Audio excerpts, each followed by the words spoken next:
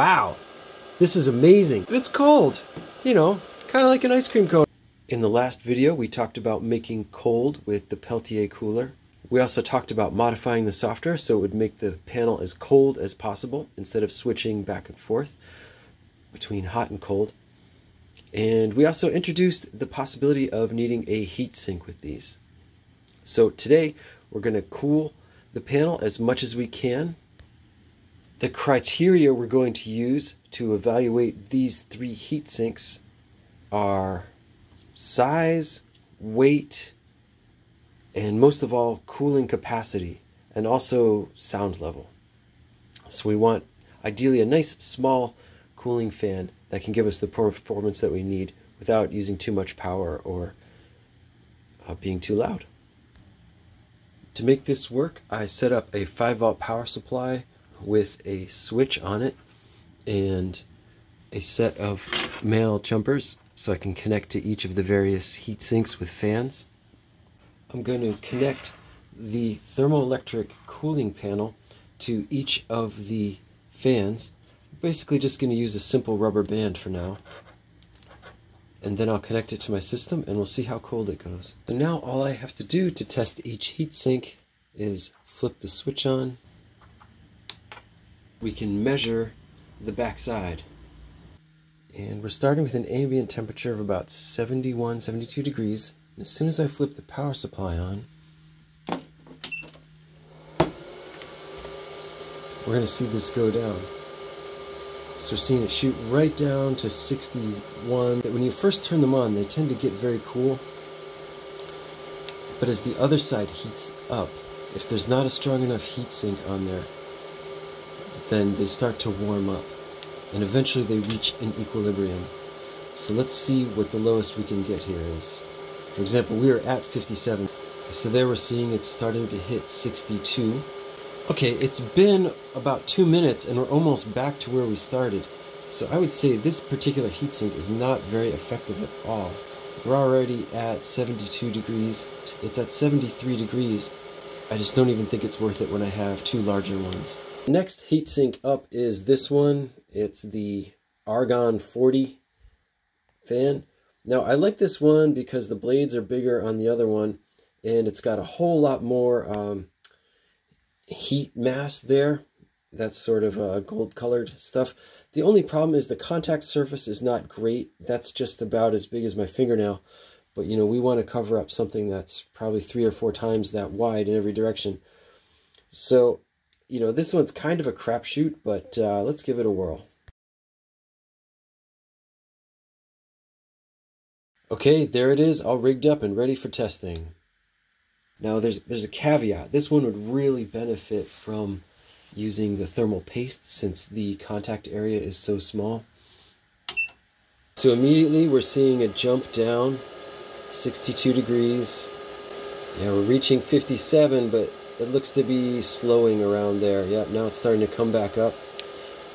So this heatsink and fan combo hit just about the same bottom as the other one when we first turned it on. I wonder if that's going to be a clue about its general performance. Here we see it's already up to 62 through the 60s and it looks like it's starting to reach 70 and now we've crossed over to uh, hotter than the room 73 so this one really can't cool the Peltier cooler enough, I would say. Although it probably would be better with thermal paste. Alright, let's try the next one. It's time to try the GeeekPi Raspberry 4 heatsink with cooler. There are a few reasons why I like this one and have high hopes for it. First of all, it has a much larger surface area overall. Uh, second of all, the fan blade has more area. The diameter is about the same as the previous one, but I believe just having more surface there is an advantage. Plus, it has a big enough surface there that it can make excellent contact with the heatsink. Almost the entire surface can touch. Uh, it also looks a little easier to mount because it's got these uh, screw thingies on there. Let's measure the performance of this heatsink. It's starting off at a nice 70 degrees, so at room temperature. Turn on the power supply.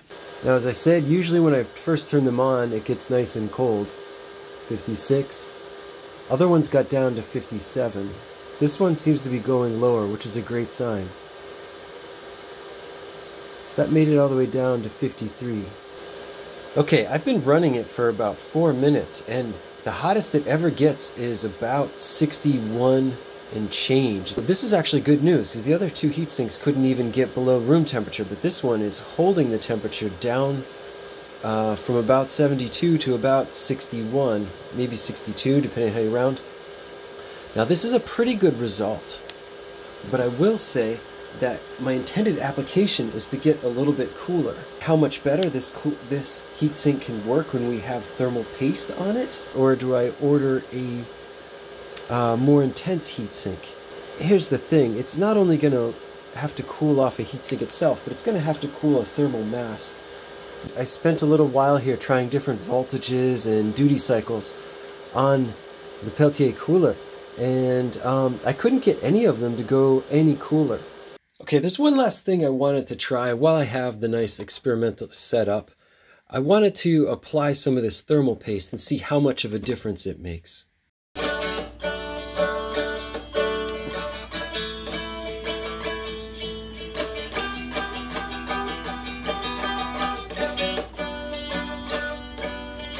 Okay, that's sticking pretty well in place there by itself. Let's repeat the experiment with the thermal grease in place. Initial ambient temperature is 70.8. Turn on the power supply and see what the temperature goes. As usual, we see a quick decline right when you begin the cooling process. I think previously we hit about 55 or so. This initial low was about 48. So potentially the cool the uh, thermal paste is helping a lot. I'm gonna let that run for a minute and report back. That's been running for about three minutes, so let's check in on the temperature.